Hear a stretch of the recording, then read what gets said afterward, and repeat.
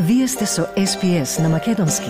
Слушнете повеќе прилози на sps.com.au козацрта на Седонин.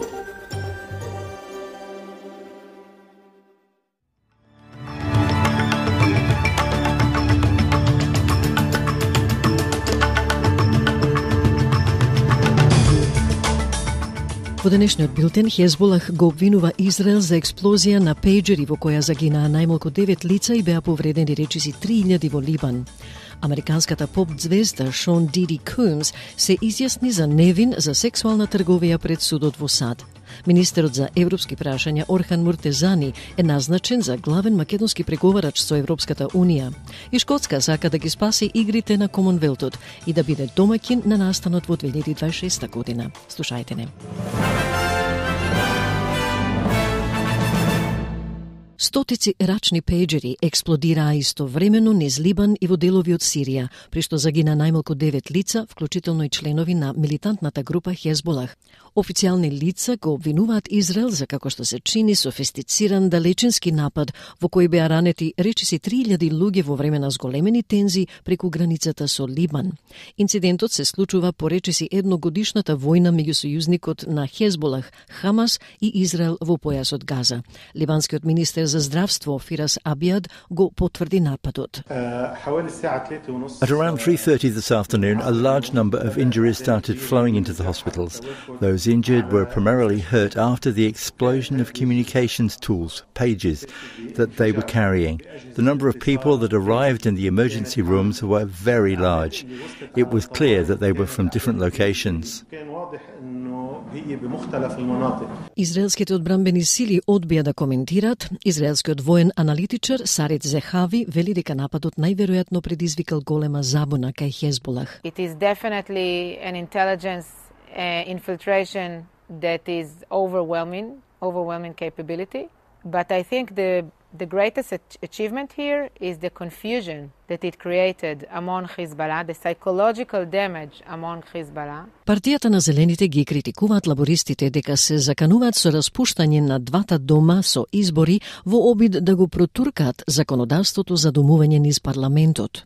Предлог законот за помош за купување на лабористите уште еднаш беше одложен во Сенатот, откако Зелените и коалицијата, како и другите членови, гласа против предлог законот да се донесе на гласање. Двојно распуштање се случува кога Сенатот и представничкиот дом не успеат да постигнат договор за предложениот закон, при што генералниот гувернер ќе ги распушти двата дома и ќе организира избори. Лидерот на партијата на Зелените Адам Банд го повика премиерот да престане да се обидува обидува да го протурка неговото законодавство низ парламентот и да преземе мерки за сите оние кои се борат за да си ја дозволат киријата. It would be a betrayal of the millions of renters and stressed mortgage holders who are struggling right now for the Prime Minister to go to an early election rather than negotiate an outcome to help people through the housing and rental crisis. Like that is just pure political posturing from the Prime Minister to threaten to go to an early election instead of negotiating. Земите членки на Обединетите нации дебатираа за обидот на палестинските представници формално да побараат прекин на израелската окупација на палестинските територии во рок од 12 месеци. Текстот се заснова на советодавното мислење на Меѓународниот суд на правдата, кој ја нарекува окупацијата на Израел од 1967 година незаконска. Нацрт резолуцијата оди на гласање утре. Израел категорично ја отфрла резолуцијата и жестоко го критикуваше текстот. Македонскиот министер за европски прашања Орхан Муртезани е новиот главен преговарач со Европската Унија за членство на Македонија во заедницата, одлучи владата на последната седница. За негов заменик е назначена заменик министерката за европски прашања Викторија Трајков. Господинот Муртезани на Фейсбук по назначувањето напиша, цитат, Привилегија е да работам за европската иднина и стандард на живење на моите сограѓани рамо до рамо со нашите стратешки партнери. Задачата ја земам со голема одговорност и чест. Патот може да ни е долг, но дестинацијата ни е конечна. Ние сме ЕУ, затворен цитат. Хип-хоп звездата Шон Диди Кумс се изјасни за невин за сексуална трговија пред судот во САД. 54 годишниот Кумс, кој е познат и по неговото уметничко име Puff Daddy, е обвинет дека ја искористил својата бизнис империја за транспорт на жени и машки сексуални работници низ државите за да учествуваат во снимени сексуални перформанси. Обвинителите тврдат дека настаните ги гледал музичкиот магнат и го обвинуваат дека користил мито и насилство како што се опожарување и киднапирање за да се обиде да ги задржи своите активности во тајност. Тие велат дека Кумс ги принудувал жените да се вклучат во понижувачки сексуални действија како дел од криминален потват кој датира најмалку 16 години. Американскиот обвинител Демиан Уилјамс го обвини Кумс дека ги примамувал жените со дрога, пари и ветувања за поддршка во кариерата или романтична врска, како и користење оружје и физичка сила за да ги присили. Our investigation is ongoing. Um, we are committed to bringing justice to everyone who's been victimized by the defendant. Um, I can't tell you why it took so long. I think the, the, the better focus is on the fact that we are here today. Um, and we are committed to making sure that justice is done. Раперот и продуцент беше уапсен во понеделникот вечерта и се соочува со задолжителна минимум 15 годишна затворска казна, доколку биде осуден за три кривични дела. Адвокатот на Кумс, Мак Анифило, вели дека ќе се бори енергично за да го ослободи. Кумс е досега највисоко профилната личност во музичката индустрија да биде обвинет за сексуално недолично однесување, откако R&B пејачката R. Келли беше осудена на 31 година затвор за злосторства, вклучително и сексуална трговија, рекетирање и сексуална злоупотреба на деца. Премиерот Антони Албенезе вели дека големите економски реформи се уште се намаса, доколку владата и бизнисите можат да ги стават настрана нивните разлики. Говорејќи на вечерата на Business Council of Australia, господинот Албанезе ги извести деловните лидери дека владата останува посветена на корпоративниот сектор по критиките од големата лоби група.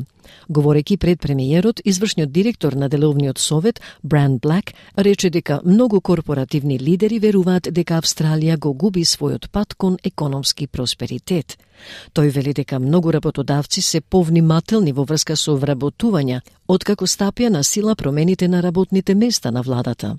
Во контрастни коментари, премиерот даде оптимистички поглед на економскиот просперитет на Австралија. Economic reform is not confined to a vanished golden age.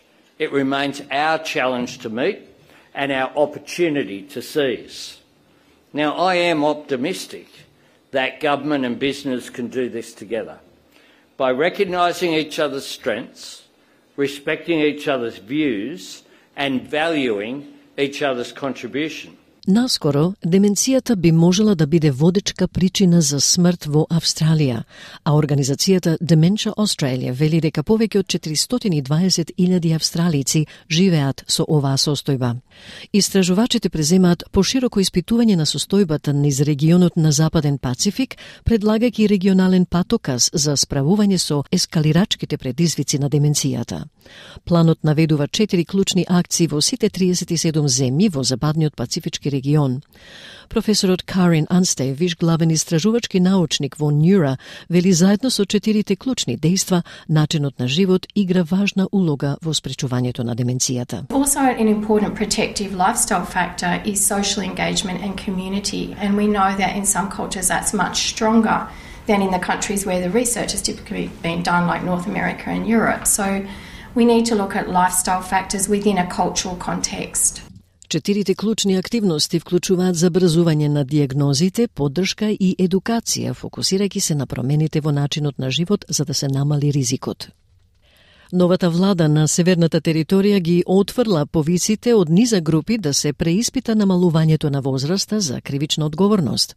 За време на предходната лабористичка влада, Северната територија беше првата јурисдикција што ја подигна возраста за кривична одговорност во согласност со препораката на Кралската комисија за заштита и притвор на деца во Северната територија.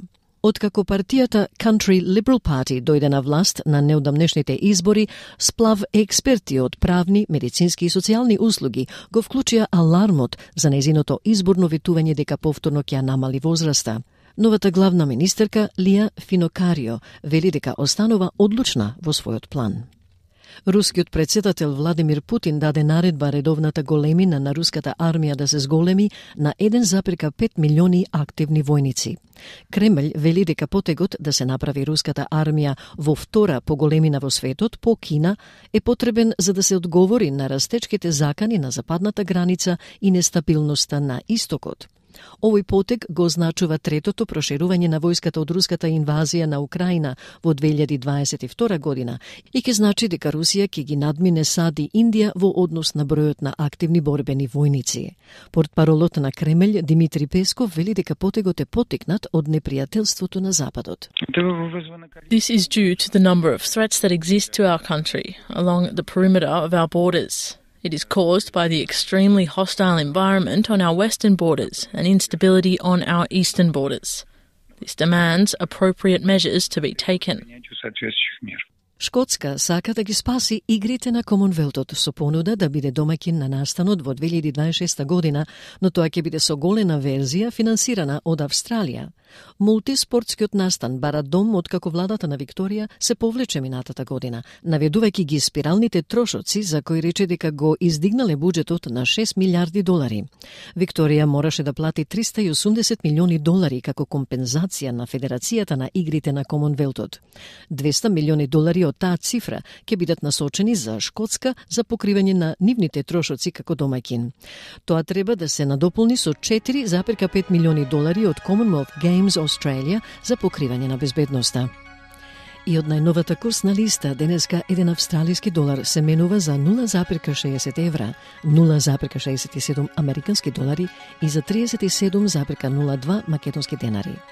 Додека еден американски долар се менува за 55,98 македонски денари, а еврото за 61,11 македонски денари. И времето за утре за Перт сончево 23, Аделајд повремени врнежи од дожд 16, во Мелбурн дожди 16, а за Хобарт дожд и ветровито 13 степени, Камбера ветровито и променливо облачно 18, во Сиднеј сончево 27, Брисбен претежно сончево 30, Дарвин повремени врнежи од дожд 33, а во Алис Спрингс сончево 31.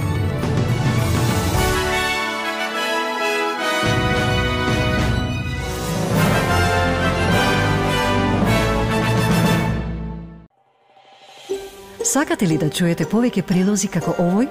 Слушате подкаст преку Apple Podcasts, Google Podcasts, Spotify или од каде и да ги добивате вашите подкасти.